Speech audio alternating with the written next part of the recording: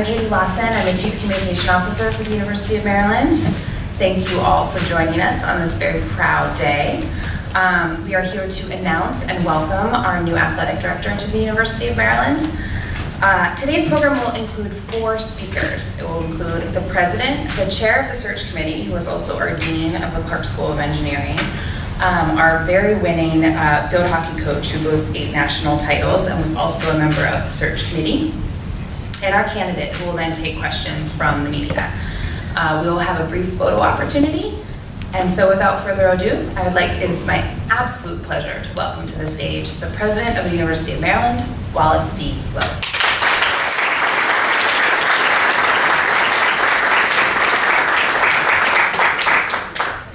Thank you so much, Katie, and welcome to the Hotel of the University of Maryland. And since this is a welcome and an introduction of our next athletic director to the world, I need to begin by introducing his better half, his wife Carrie, and his daughter Kennedy, and in absentia, his son uh, Cameron. Would you please stand up and be recognized?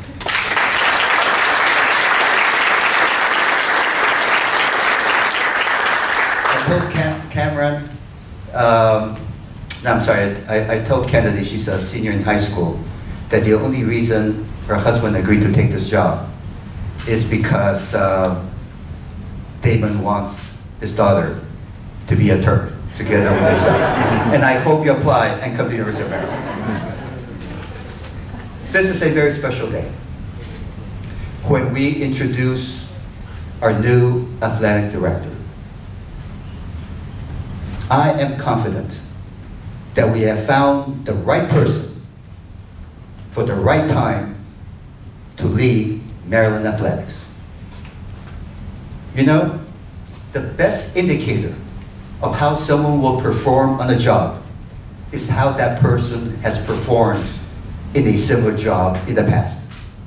Damon was an outstanding athletic director at the University of Georgia. I am very confident that he will be an outstanding athletic director for the University of Maryland. Because he has those qualities of leadership. Of, he's a visionary, he's seasoned, he's strategic, and he has those qualities of personal qualities of integrity and compassion. Um, now that I mentioned compassion. This announcement is perhaps a little bit more somber, more quiet than we would otherwise do, because we are all still grieving for Jordan McNair, who, as you know, tragically passed away at the age of only 19, known as a gentle giant. And we will forever remember him wearing number 79. We are all still grieving. This is a very happy day, but at the same time, all of us are mourning for him, for his family and his friends. And I mentioned that because that's when I saw that quality in Damon. And also in our head football coach, DJ Durkin. Days and nights at shock trauma. Consoling the players. Talking to the doctors and to the parents. Those are important qualities in any leader. But as I think about Damon's career, the other thing that I find very striking, you know, his career, starting in 2004 as the athletic director, the youngest athletic director and the first African American in the Southeastern Conference, to the present. It is truly a human story a very typical human story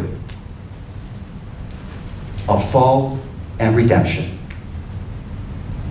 from mountaintop to valley bottom. And then over number eight years of slow, painful ascent back to the top.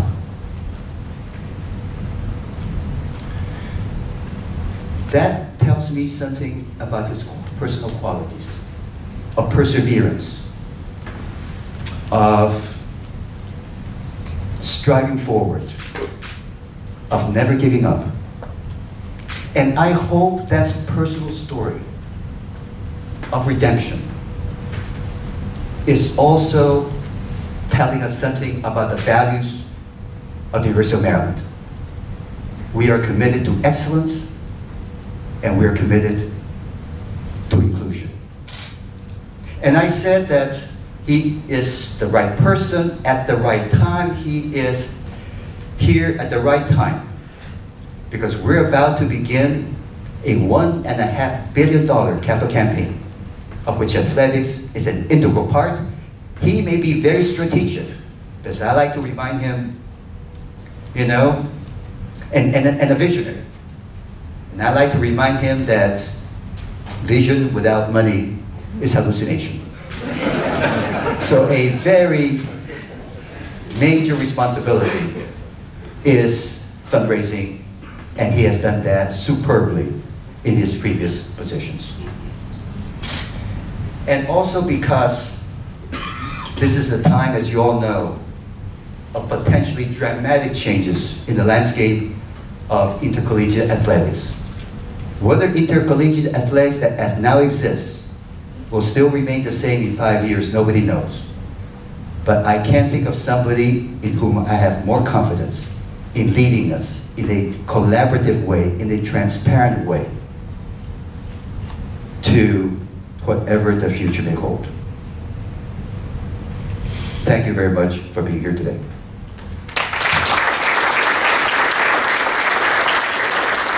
This is Darryll Pines, Dean of the AJ School of Engineering. You should know he's not only the best engineering dean in the country, he's the best engineering dean in the universe. but his special claim to fame is that his son is a star defender on the Maryland soccer team. Terp Talk is brought to you by Viner Forgates Consulting. Call Viner Forgates for all of your IT needs. In the DC Baltimore area, you could reach us at 301 251 2900 or on the web at www.vinerforgates.com.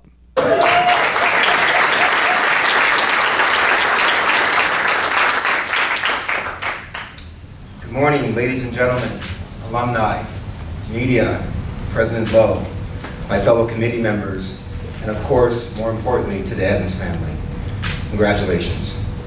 So my name is Darryll Pines, and I'm the Farvardin Professor and Dean of the A. James Clark School of Engineering, also father of Donovan, as you already heard. Um, and you know, Damon, I can agree with Dr. Loh, vision without money, as he used to say the same things to me, but I've covered my debt to the university, so he can't say that anymore about me.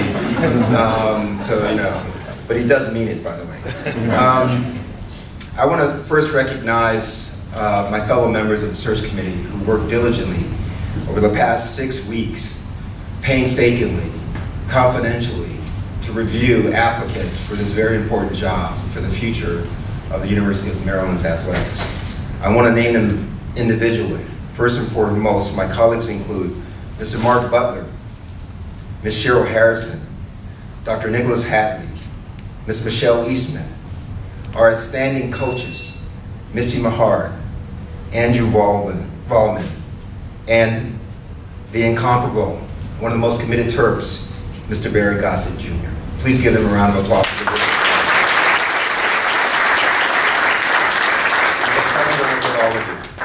You might wonder what a Dean of Engineering school and an athletic director have in common. But the truth is that the intersection of academics and athletics is so integral to success of our student athletes. In addition, as Dr. Loh mentioned, I'm a parent of a Curtin student athlete. Yes, my son's name is Donovan Pines, and he is an all Big Ten center back defender for Coach Sasho Cirovski's soccer team. And he's a rising junior in biology who aspires to play one day in the English Premier League, but also in his off time, study marine biology and be a marine biologist during the off season.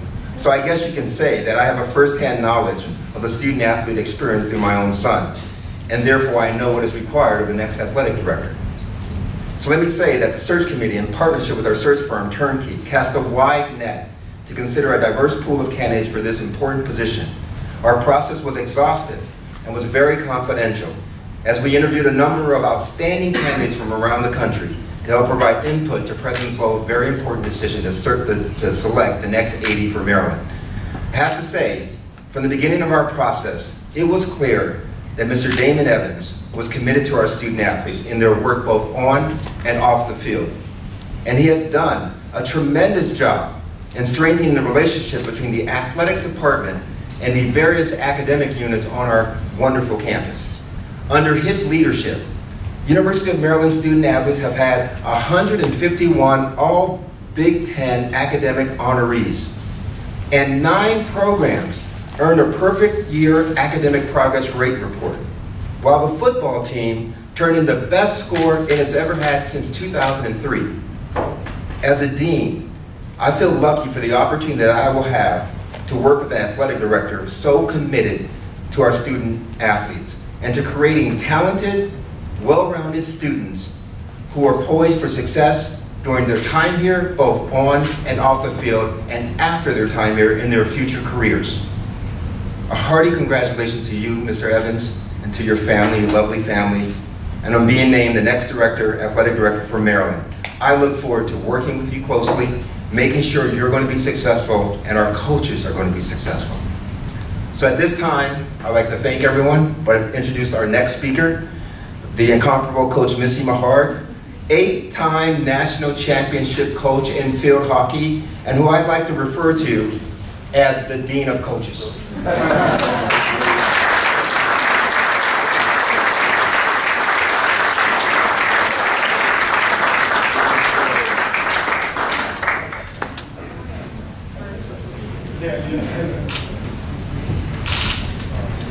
Great.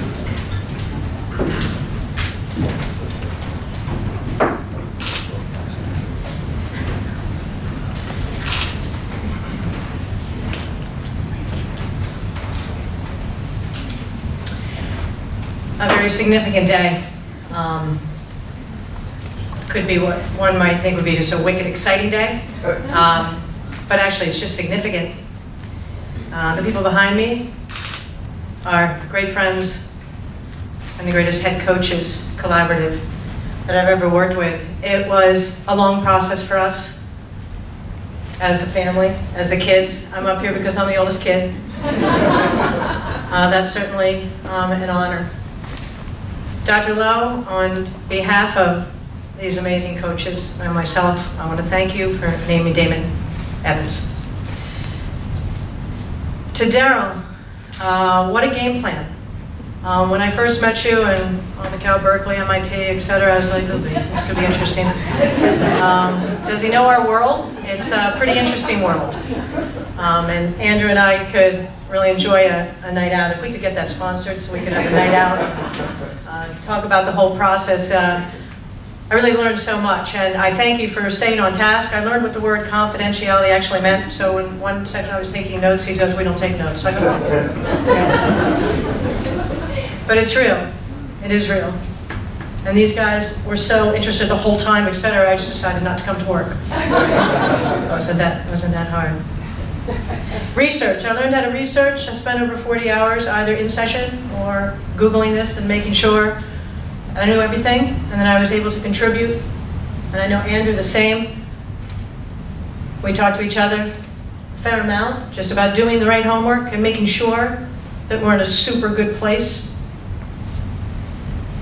I actually found myself researching what a front porch was and uh, what a sleeping giant is. And, uh, but what I was remarkable was the reality of our legacy and our history of athletic directors and leaders. I was fortunate enough to be hired by Lew Perkins, the businessman, Many of us worked with Andy Geiger, quite an educator. We worked with Debbie Yow, the master. And we worked with Kevin Anderson, the integrator. And amazing people in those areas. And Damon, you have it all. You have a bit of every one of those great leaders. We're in good hands. Andrew and I were asked by someone else on the committee in an off session, well, tell me about Damon. so we're like, well, it's really easy. We're, he's really confident. And when we're confident in what we do, it's easy to be great. Um, he knows the business. He absolutely knows the business. We had head coaches meetings, and, and we have for, for years. And uh, since January, I think we've had four or five with Damon. And after every one, I had lots of notes because I was learning things. And I go back to my staff and I'd share it, and the staff and I would, would talk. And um, we're talking the business. I'm, I'm talking about DJ's world, and Mark's world, and Brenda's world, and and Andrew's world and Sasho's world. I know we all have opportunity with pros and the big time, but we were really talking the stuff, the stuff that matters. The stuff like, you know, pay to play and concussions and student athlete conduct, and we had legal come in, and we had uh, housing people come in, and, and how do we collaborate? It was amazing how much we've learned and how exciting it is to be one team. I, I don't want you to jump, Mark. Um, the more we all know about what each other actually do, uh, the more we will all be in position to be number one. So he's confident because he's good. He communicates, he gets respect because he earns it, he gives it. He respects all of us. I had several opportunities to talk to him one on one and in small groups about things that really matter. Okay? In one case, I didn't hear what I want to hear but it's fine because he gives you the reality. He understands money, he understands vision. He gave us a small snippet in the end of year all staff meeting of what it's going to look like for us. And that's where I say it's exciting because we've just seen a very and heard a very small part. He's compassionate to the nth degree, and Dr. Loh used that word as well. He sees no color, he sees no gender, um, in our all-staff meeting, we're honoring the likes of Debbie Russell here for 40 years, as well as people in the department who are earning degrees and um, just doing major things. For us, there's only one goal for us, and that's being number one in whatever we do. It's a tough world. That's a tough way to live, and we'll do anything to represent this institution well and to do that. Today's a significant day in Maryland athletics. So on behalf of our 500, Cheryl, 20, 30 students and our 250 employees and to the greatest head coaches in the country, I'd like to introduce our next Director of Athletics, Damon Evans.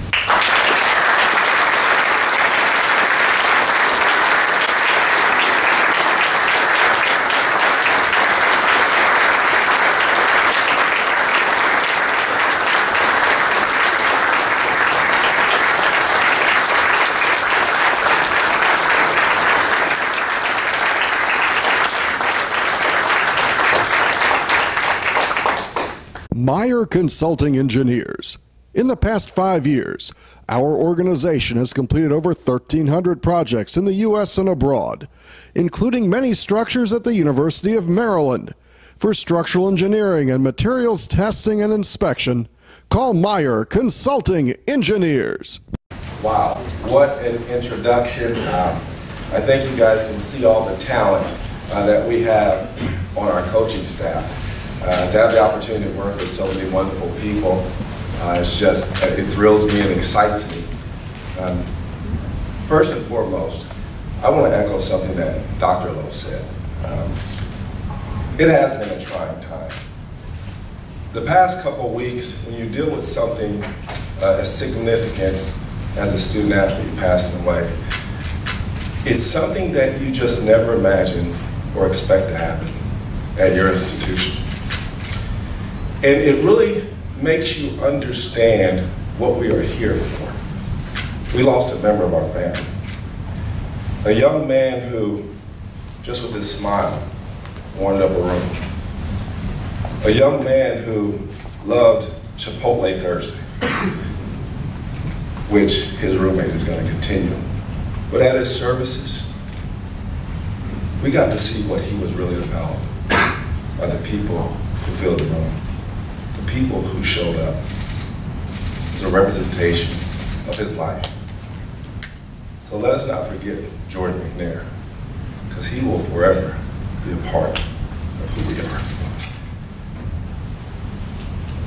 I am thrilled and excited to be standing before you. As I sat there and I heard everyone saying anything, everything, I was, I was thinking, I said, is that me? Do they have the right person? But I am so grateful. And, and I want to thank, first and foremost, Dr. Wallace Loh. Talk about someone that I truly, truly admire.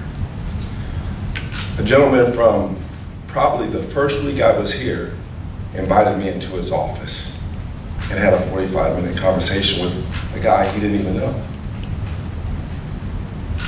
Our relationship has blossomed. I like to consider him as a mentor, great leader, and more importantly, a friend. Dr. Loh, I thank you for believing me, and I thank you for giving me this wonderful opportunity. Thank you so much.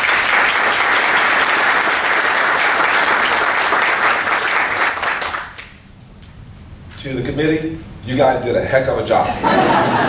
you were marvelous in what you did.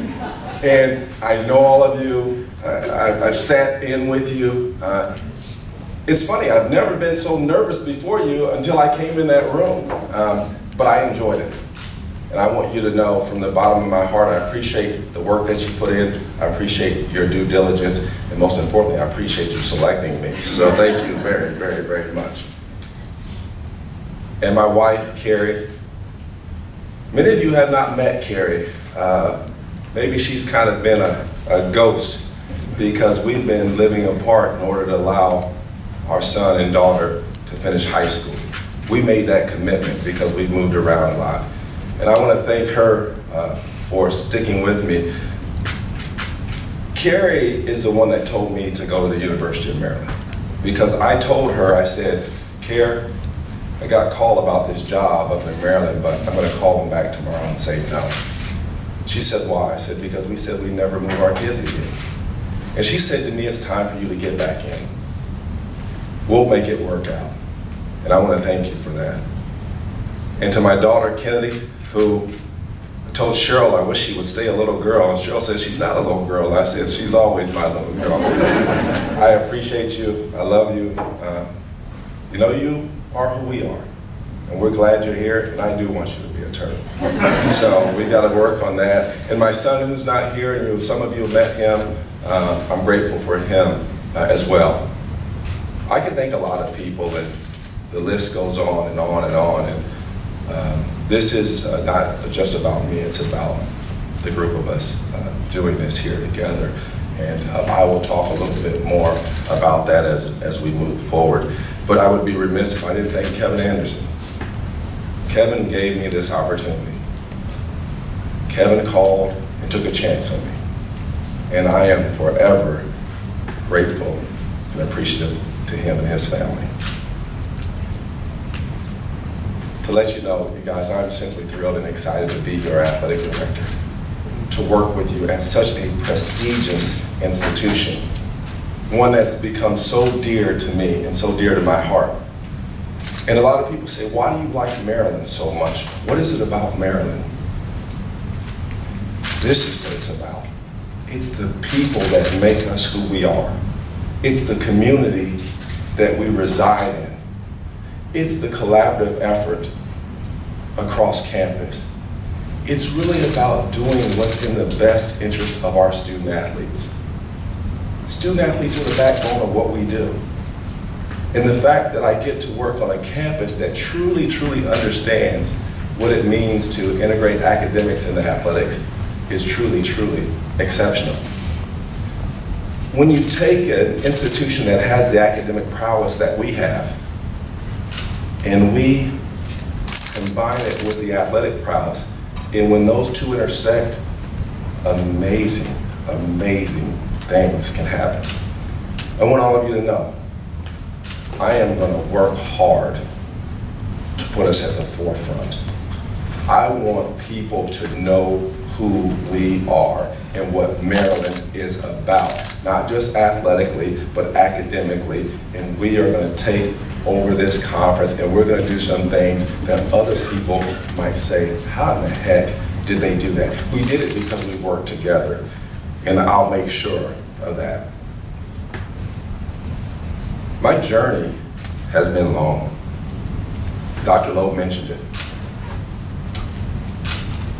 You know, it's interesting when you go through things in life that are difficult for you, but most importantly, difficult for your family and people who count on you so much. But what you have to do is you have to get back up. And you have to learn.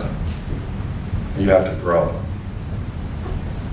A journey is about growth, and I've heard it said, a journey is never ending. There will always be growth. There will always be improvement adversity, but you just have to take it all in and do what's right. And that's continue to grow and continue to live in the moment. I'm not through growing. I'm not through learning. I'm not through changing. I want to take all that I've learned over my career and in my life and apply that to this great institution. I am committed to doing that this is where I want to be. I think it's appropriate uh, before I end by sharing with you a little bit about what are some of the strategic priorities that we will have. Now, these are not all encompassing, but it'll just kind of give you a little bit about where we might be headed.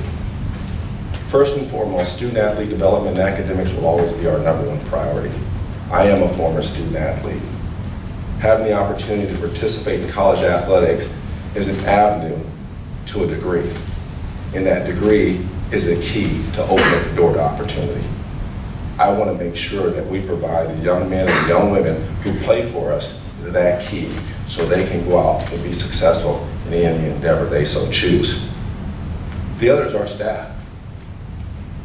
We can't do it without being together. Stability and continuity is something we have got to focus on. Maryland has to be a destination location. We want people looking at Maryland and saying they have the recipe. We want people looking at Maryland saying they have the best staff in the country. What in the heck is going on over there? I want our staff to know that I am committed to helping you grow professionally and doing the things that will allow you to meet your goals. Fundraising is significant. It presents an outstanding opportunity. Uh, Dr. Loh just mentioned our Fearless Ideas campaign. Couldn't be more excited. But fundraising is not just about the dollars you generate, but I know we need that money. But it's about the relationships you build. It's about the branding. It's about the perception of the institution as a whole we will get out and we will grow this space. That's what we're supposed to do.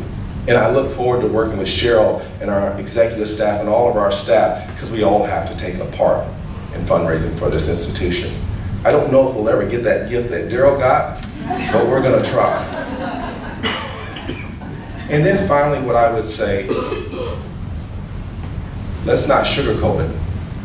We want to win. We want to compete at the highest level. Because when we win, people will follow us.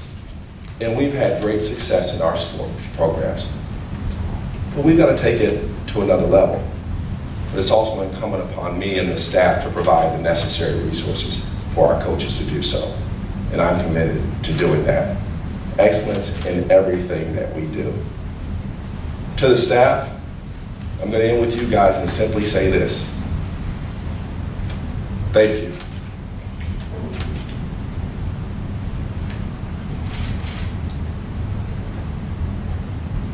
You supported me. You never gave up. You never doubted me. And for that, I will forever be grateful. I can name you all off one by one and say a little special something about you. That's what you mean to me. I said something in our last staff meeting. We're comprised of so many different teams, so many different people. 500 some student athletes, 20 sports teams, I think 17 or so coaches. But the one thing that stands out to me is one Maryland. Because you know what? The sum of the whole is greater than the parts. And I promise you this, as we continue to work together and follow that one Maryland, we will do some incredibly special things. So with that said, I thank you. I am honored to serve in this role. I'm extremely humbled. Thank you, and go Terps.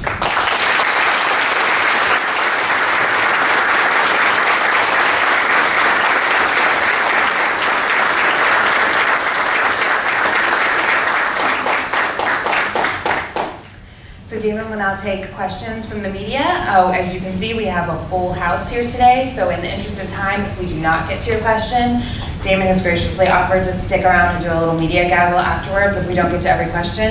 That being said, we do have time for several.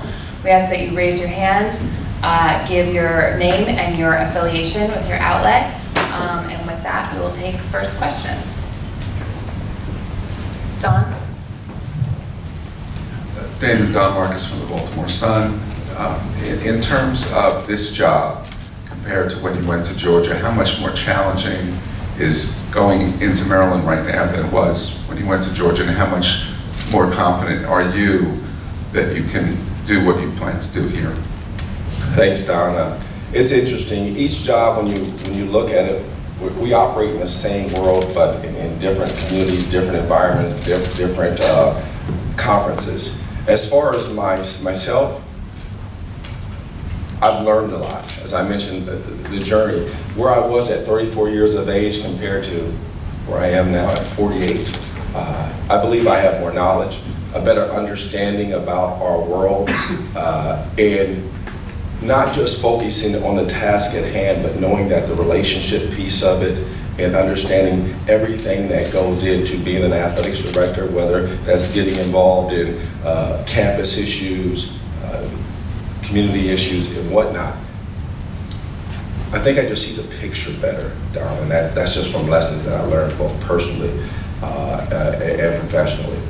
From the standpoint of the difference in, in Maryland and Georgia,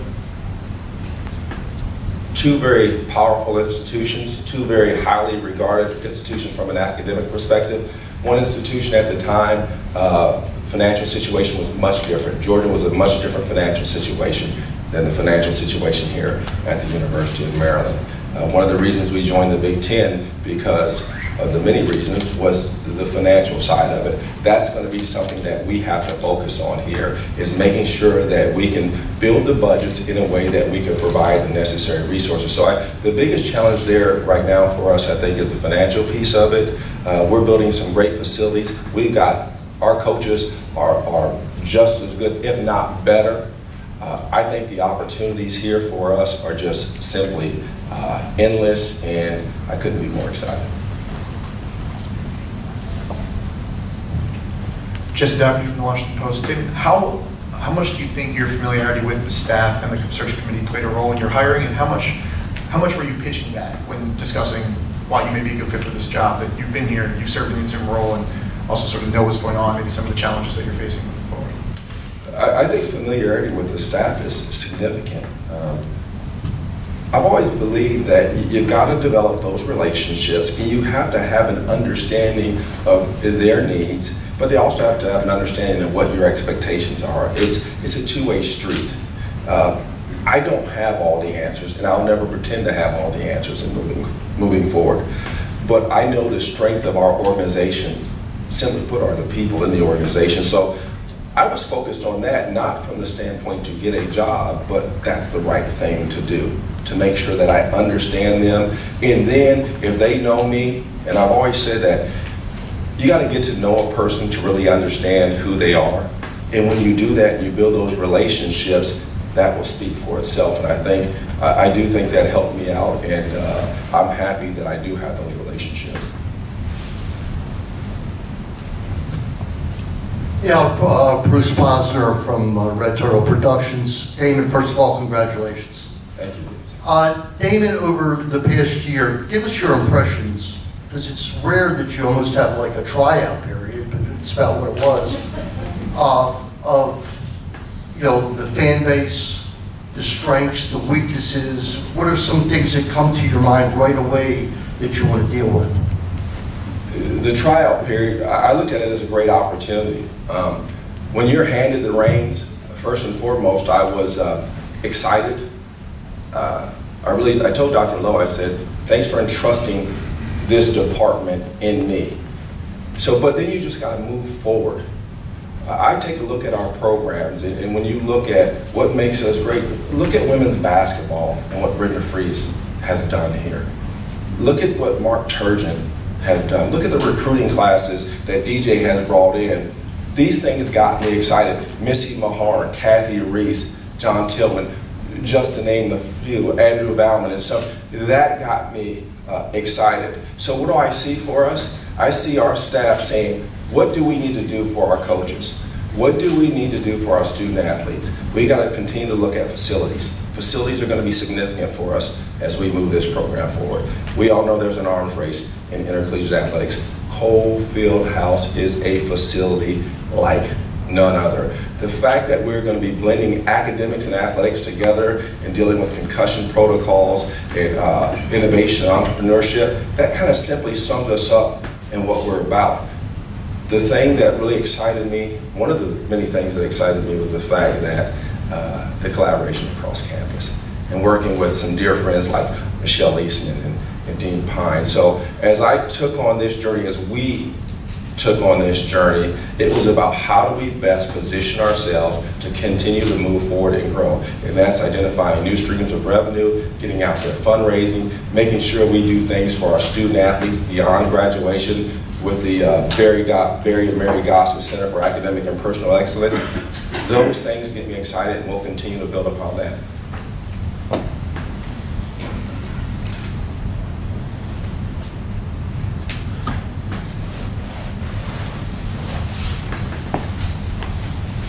Wayne Viner, Red Turtle Productions. What does your background as a big-time college football player lend to you as an athletic director, and how does that give you an edge in doing your job? Well, thank you for calling me a big time football player. I, I don't know if anyone's ever called me that. I, I played a position they no longer have, and that's slow wide receiver. So DJ wouldn't send me on any uh, deep routes. But I think it gives me an understanding of what the young men and young women that we have go through each and every day. I always tell our recruits when I meet with recruits, I say, don't you hate it when someone tries to tell you how it is and they've never done it? I can sit there and tell them that I've done it and I understand it and what they're going through, but I also think I can glean some insights into what our coaches are trying to accomplish. Uh, that's what got me into this business. I, I told Dr. Loh and some others in the search committee I wanted to work on Wall Street. I was a finance major, but as I was playing and I saw some of the things going on, I said I wanted to jump in there. I wanted to work at a level in which I could impact change for young men and young women and help them grow and develop like people helped me grow and develop. And athletics was just uh, a vehicle for me. Uh, I didn't have the opportunity to play the pros. I wish I would have. My wife says no, but, uh, but it, it, it turned out better for me because I'm standing here before you today.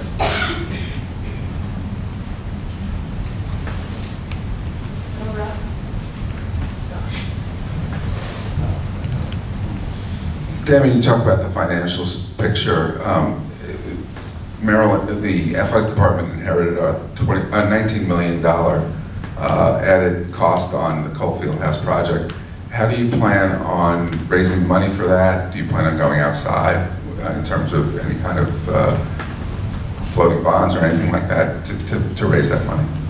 uh, Cole House, which I'm going to continue to brag on, the best facility in the country when it is done. Uh, it is, it's, it's, it's gorgeous. Anytime you, you're building facilities, it- there are chances that you're going to have overruns, and you deal with those. We have a plan in place. We will continue to fundraise, and uh, you guys are going to get tired of hearing me say fundraise, but that's, that, there's no ceiling, there is no limit for us. And so we're gonna bolster our efforts in the fundraising uh, department to do those things. And then we've got to become a little bit more strategic in some of our business deals, uh, whether it's uh, striking a multimedia rights deal or naming rights opportunities or revamping some of our existing contracts and getting better deals in place, which would uh, drive more revenue for us. And the other thing too, I always say this, revenue is key when you're dealing um, with expenses. But the, the expense side of the equation, we, we've got to make sure that we're fiscally responsible and we're managing our expenses in a way and that we create more efficiencies throughout the department where we save money that we can apply to things. We're going to be looking at rea- reallocation of funds and various sources of revenue as well.